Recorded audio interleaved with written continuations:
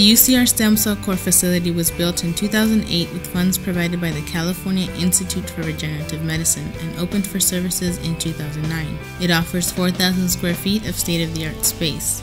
The facility fully complies with NIH regulations for work with pluripotent stem cells. The facility offers three tissue culture suites with equipment for experimental work in stem cell biology.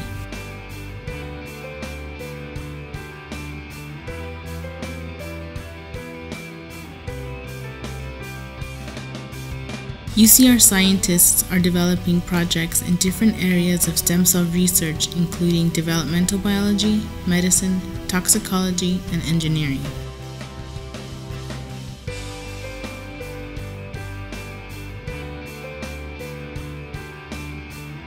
Registered users of the facility have access to a digital Nikon TI Eclipse microscope with software for 2D and 3D phase contrast and fluorescent imaging. The microscope is equipped with NIS Elements imaging software with options for deconvolution and Z-stack.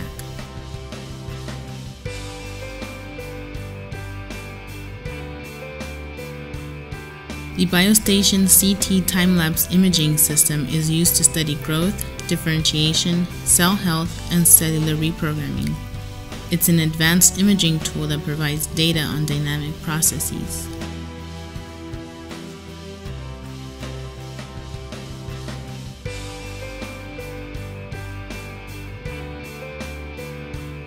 The core also provides space for the long-term storage of stem cells. The Beckman Coulter Flow Cytometer is an analytical instrument for quantifying distinct cell populations after labeling cells with appropriate markers.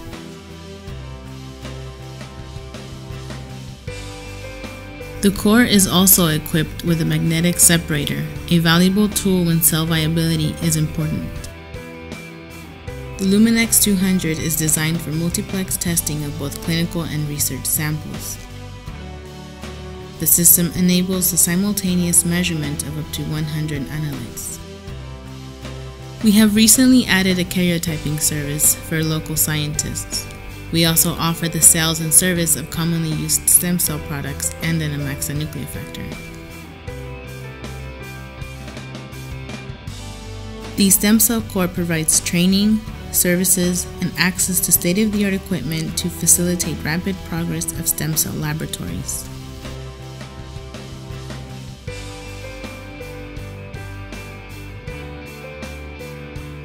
We have been working together with high schools and colleges to spread the knowledge about the importance of stem cells in research and medicine. The Stem Cell Core is a research hub for stem cell scientists from the UCR School of Medicine, Bioengineering, Biological Sciences, Loma Linda University, and Cal State University.